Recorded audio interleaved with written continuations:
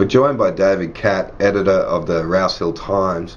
Uh, David was just out at the scene of a terrible accident, uh, probably one of the worst we've seen in the region uh, in recent times. David, can you describe the scene out there?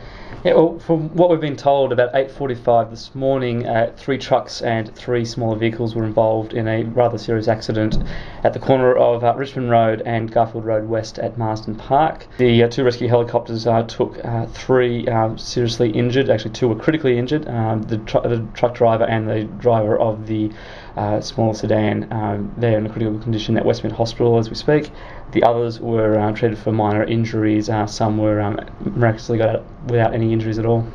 So, like we're seeing the footage now, can you describe uh, what we're seeing here?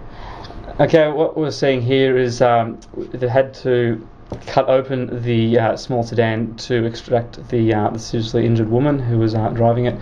Uh, the truck is um, also being propped up to prevent it from completely tipping over at this point.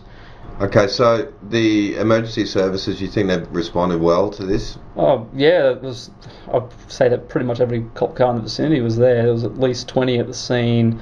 Uh, about seven or eight fire trucks, uh, two rescue ambulance helicopters plus ambulances, and then pretty much every road within five or six kilometres of the accident, there was uh, police stationed there trying to divert traffic.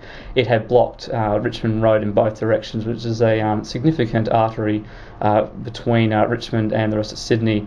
Uh, so yeah, those um, side streets were very congested and will be for the rest of the day. Uh, so we'll be getting updates on this on the rousehilltimes.com.au website. Yes, definitely. Over the coming days, we'll provide um, our readers uh, with the information as it comes to hand. Thanks, David.